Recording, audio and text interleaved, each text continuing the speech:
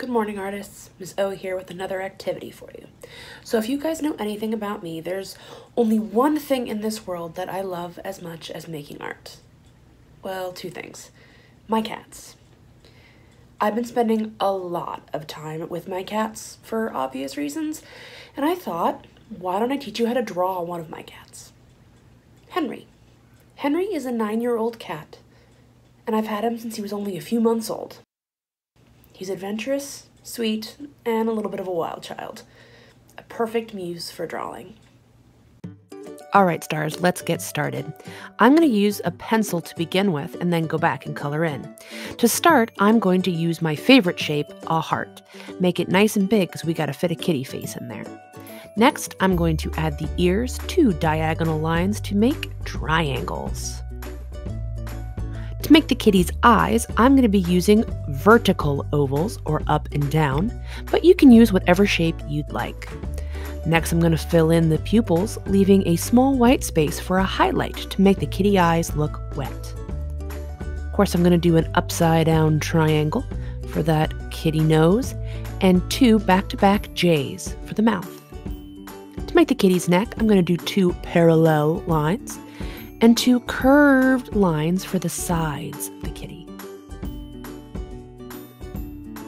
For the kitty's feet, we're going to do two curved lines, almost like M's, one for the back foot, one for the front foot. And add some kitty toes. I like to do almost like little W's underneath. One kitty toe, two, three. One, two, three. We're going to add some vertical lines just to make sure that we can see the front kitty legs Ooh, and a little curved line for the tummy. Starting at the bottom of the kitty cat, make a big curve going up. Then move up a little bit and make a copycat curve right next to it, almost like a parallel line. And there you have a kitty cat tail. At this point, we can go in and add some details. Details are those little things that make our masterpiece beautiful, like adding some vertical lines for a nose or some kitty cat freckles, even whiskers. I like just put the tip of my pencil on the paper and just whip across the paper to make some whiskers. Henry has a white belly, so I'm going to add some mountaintop zigzag lines at the top of his tummy to show that it's white, and I'm going to add some stripes. They're going to be curved lines that go from one side to another, almost like rainbows. Now you'll notice that I'm also adding some little lines that don't go all the way across. I think it makes him look a little bit more like a tiger.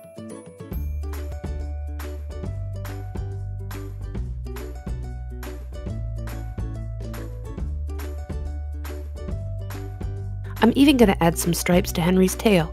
You'll notice that the stripes on Henry's tail actually go the opposite way from the ones that are on his body. We do this because of perspective and also to help make the tail look a little more round.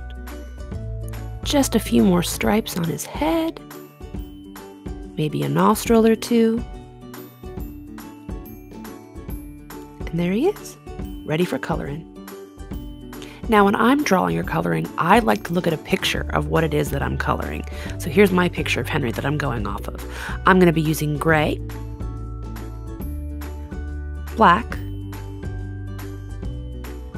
a little bit of brown, and some white crayon. I like using crayon for this because it makes them look fluffy. Don't know why, just love it. I'm going to go ahead and speed this up, but if at any point you're curious as to what I'm doing, feel free to pause the video and take a look.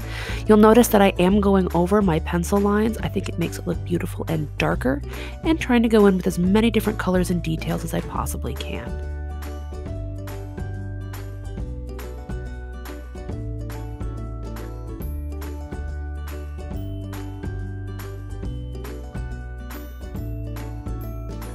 And there he is my sweet baby Henry in all of his glory.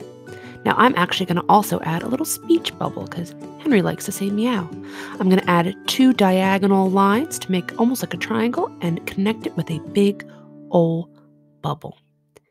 Oh, and there's the boy himself. Let's see if he likes it. What do you think, Henry? Yep, I think he approves.